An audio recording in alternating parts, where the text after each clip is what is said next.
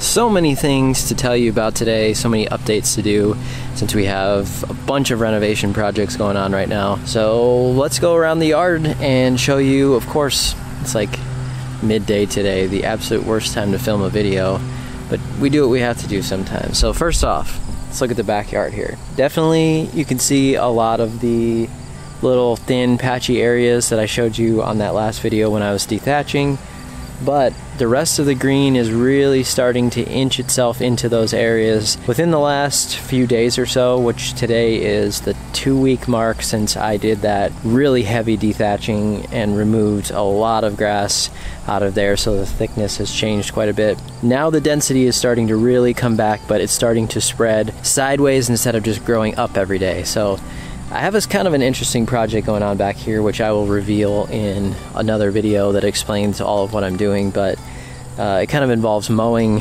and I've seen some good improvement in the mowing just by doing a few things there. So I'll explain that in another video. But this section over here, right here, that's the best section because that one is now a month out from when I did the initial dethatching. Now I checked our soil temperatures the other day and we're still about mid 70s, around 75. So we haven't gotten into the peak season for fall by any means. So it's another reason why you really can't go off of the calendar necessarily to make your all of your decisions on when to apply things or when to do things. You have to just kind of look at the conditions.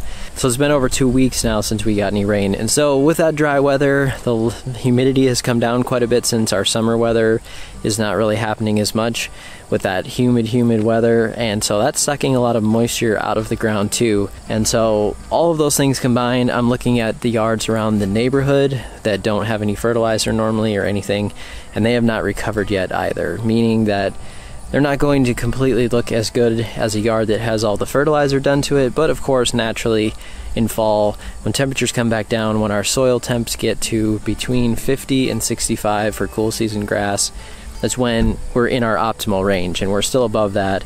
So I'm noticing all the lawns around here are not really looking so green yet. They still have a little bit of a summer dormant look to them.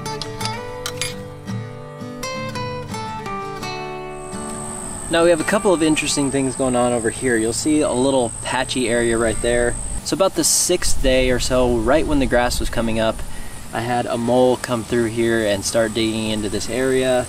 I've seen it in the garden now every once in a while and I've put down some kind of mole repellent in this area to keep it pushed back that way. And so far I haven't seen too much more damage yet, but I'm watching it pretty vigilantly. So that little area is really thin from that happening because grass was just starting to get going and then I had that mound and their trails through there and it kind of removed all the root system. So I threw down just a little bit more seed in that area and covered it with a little bit of peat moss, but it's still a little bit slow coming in yet. So probably the first thing you'll notice is this little stretch right here. As I mentioned, my sprinkler head is right there. So it's not getting a lot of water and uh, there really should be a sprinkler head over in that other corner and for some reason when the design happened it didn't work out that way. So I may end up putting in a different head here that sprays a little bit farther or maybe that head over there on that side I will have one that sprays a little bit farther or something like that. I don't know yet but all of this bluegrass will start to creep into this as well as we go through probably a little bit more this fall, but what I found with my bluegrass last season on the small side renovation area was that the spring after was when it really started to push itself. So that's kind of what I expect with this. Now the midnight has been the slowest to come in. By the time I saw grass coming up pretty good over on the Mazama and the Bluebank, the midnight was just barely kind of there at all. Now in the past week or so, it's really started to shoot up a little more, fill in a little more, and it's kind of catching up to that. It is still lagging behind just a little bit, and it is an older variety.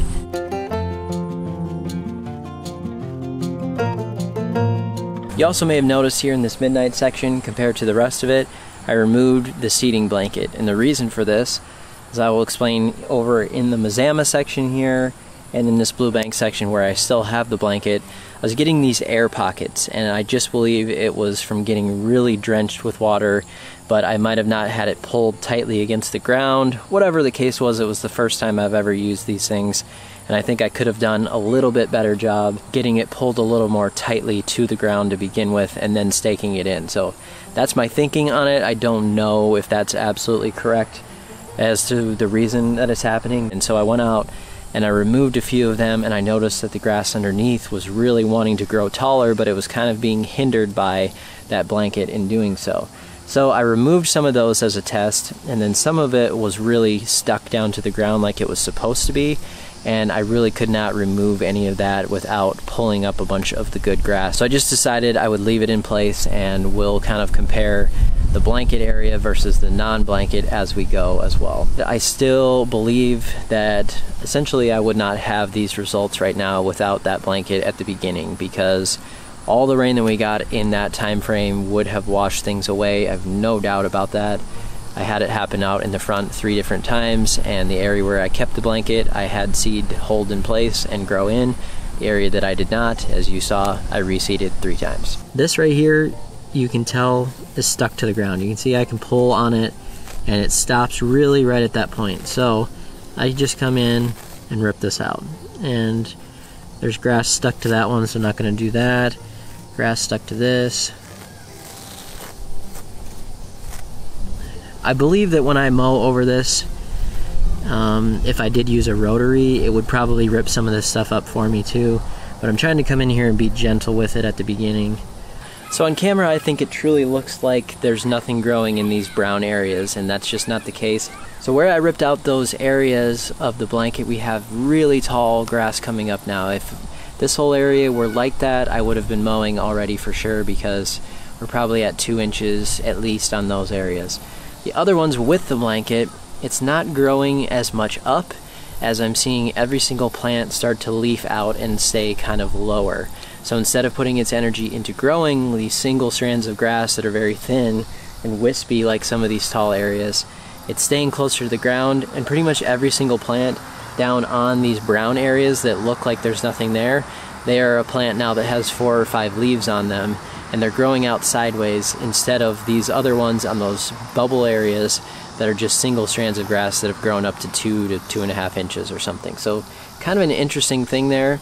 I think long term, I would rather have the root growth happening right now of those little small sections where the blanket is at, but I don't see that either of them is going to be an issue long term. It's all still growing and nothing is washing away anymore. We have enough grass here established that I'm not worried about any of that. You also notice here you'll see all these little black spots here.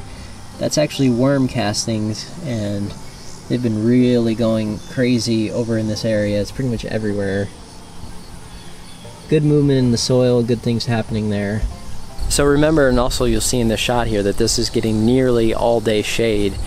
This section right here by the house, is a little bit uh, thinner as well because we're not getting really any sunlight on it until about five o'clock at night and then the sun's going down now by eight for sure more like 7.30 so it's only getting two and a half hours something like that and i don't expect it to go crazy this season yet i expect those sections back there which are getting much more sun to do a little bit better but that's the reason why I put the Mazama where I did because I know that this section on the north side of my house is the only real shaded area that I have consistently in my yard. And I wanted to test that grass type which is supposed to be pretty shade tolerant and see how it does.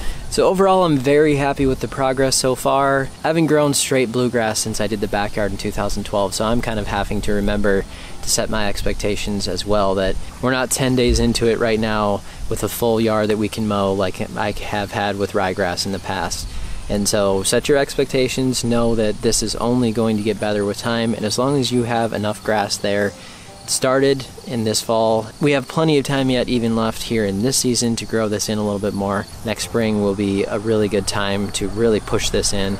And we'll be doing some fertilizing yet this fall here, starting to hopefully mow it I'm hoping um, within the next few days I'll be able to come in and do at least a little bit of mowing on it and that'll also start to push the growth too.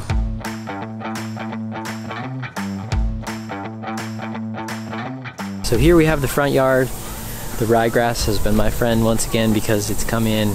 This is day 10 today. Um, I've let it dry out a little bit today because I knew I would be walking on it, so that's not really typically what I would love to do, but if I know I'm going to walk on it and mow, then I will let it dry out a little bit here. So this is the manual reel. I know you've seen it in quite a few videos before and the reason that I got it last year, I just decided it would be easier to cut because although we do have one roller on the back here for stability, which does help so that you don't fall into any of the little holes in your yard. On the front here, we don't have any roller like my Swardman does, so when the grass comes through here, it's not being rolled down first.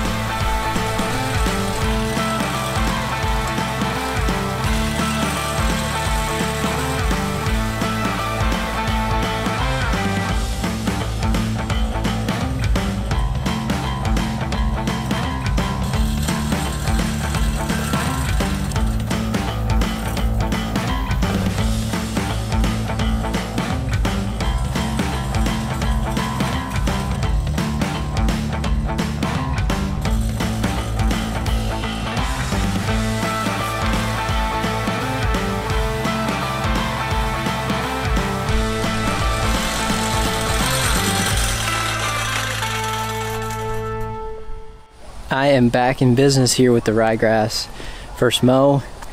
So just a few days ago, remember it looked like this, and here we are today. So for the first few mows here, if you have something like that, I bought that on Craigslist for like $50 or something.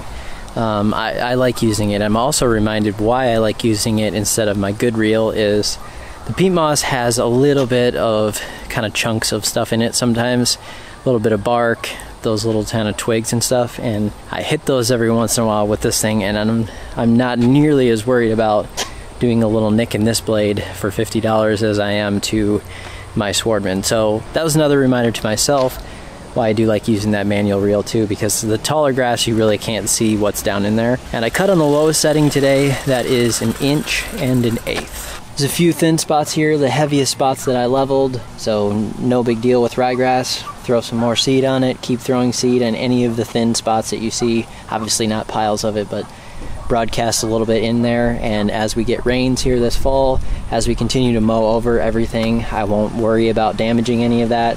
That new seed will come in and it will just start to fill in that section. So just keep finding those spots that are very thin like that, throw out more seed. Now I just don't know how well this is going to show on camera, but the only downside to those manual reels, especially setting them at the lowest settings, that you'll get this real choppy, wavy look. And so you'll see this through this section here. There's kind of like a little bit of a ripple look to it, and that is caused from the fact that we don't have the reel spinning fast enough really for how thick the grass is. So it just had a hard time going through that thick grass on the lowest setting and the reel is just not spinning fast enough to really get rid of that ripple. But doesn't really do any damage to it by any means. It just has that kind of rippled look. Right here we've got just a little bit of excess grass too. I'll just come in with my blower and uh, I'll take care of that no problem. So you'll see in here in this section that we have good growth coming in, but I did remove the seeding blanket. The reason for that was that, of course, since I put down the seeding blanket, it has not rained. And therefore, it was actually kind of impeding my watering from going down into the ground very much because it kind of needs a heavier rainfall to get that thing to suck down. And these sprinklers don't have a very heavy impact type water to them. They're lighter. So it wasn't working that great in this section. And what I noticed was that last video where I showed you that the blanket had worked in order to get germination started it definitely did work, but I noticed that it was still able to be kind of pulled off of the ground. And I didn't really want to have the air bubble situation again. So I just decided at that point to pull it off of there and just let it be what it is. We have enough grass here that if we should get a storm, I've got way more than germination happening. It's already growing quite a bit. So you will see the sections of green that are much thicker and then the lighter sections. So this is actually the lack of consistent watering with the irrigation system. I have been watching this, and with the blanket and also with the bare soil, you could definitely tell where it was getting heavy water, where it was getting light water, and as you notice, the seed has come up here. Where it's thin is exactly from the watering, and you might think that an irrigation system with head to head coverage is going to be perfect, but from what I'm finding, that just does not seem to be the case. So, out against the street there. There's some lighter stuff. Definitely in between these two heads on this section. There's section there in the middle where it's getting more water. These two are getting lighter water, and I'm noticing it also on the other boulevard area. So watered this yesterday a half an inch, and you will still see, I have my polarized sunglasses on right now so it's easier to see, I don't know if it's going to show on camera. There's a section right through here, the section right back in there as well that you can see it's still kind of a little bit wilted. That's from again the lack of consistent coverage even though we have head here, head right in the middle and head on the end. Definitely getting head-to-head -head coverage and it's just not hitting these little sections perfectly. So I'll have to come in and water those by hand a little bit but one interesting thing that I wanted to make sure to mention with the way that the system has been working for me so far. I know that was a lot of explaining to do today, but I wanted to talk about some of the little things that were going on and kind of in detail the little things that I've been seeing since we did the renovation. So thank you guys so much for watching this video. We'll see you next time.